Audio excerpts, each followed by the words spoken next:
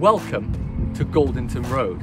We're delighted to be able to welcome back you, the Blues family, through the turnstiles on Saturday for the highly anticipated Battle of Bedfordshire against Ampthill. It's the first time that we've been allowed supporters back through our gates for 15 months, so things may look a little different to the last time that you were with us. So we're now going to take you through some of the processes that we have implemented here at Goldington Road to ensure that everyone has a pleasant yet safe matchday experience. Before you travel to Goldington Road, please check your general health and if you have any symptoms of COVID 19, please stay at home and follow government advice. All tickets have been sent to supporters electronically, so please have your QR code ready when you arrive at the gate.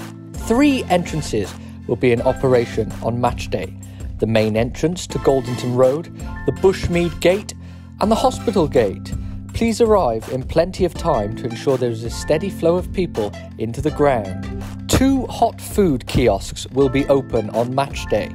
The first, the Bedford Barn, located adjacent to the Blues Marquee on the halfway line, and the other, Peckish Festival Food, served from a hatch at the Borough at the Blues on the East Terrace.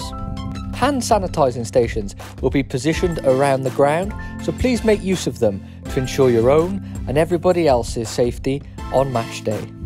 If you have an Eagle stand ticket, please follow all the instructions from our stewarding team who will direct you to your seat. For those with ground entry tickets, social distancing measures remain in operation, and again, please follow the instructions provided by our stewarding team. Social distancing is in operation at all times throughout Goldington Road, as well as the wearing of face masks, except if you are medically exempt or when consuming refreshment.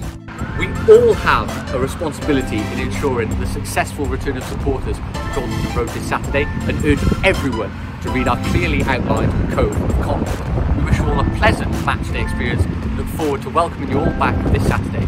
Come on, you Blues!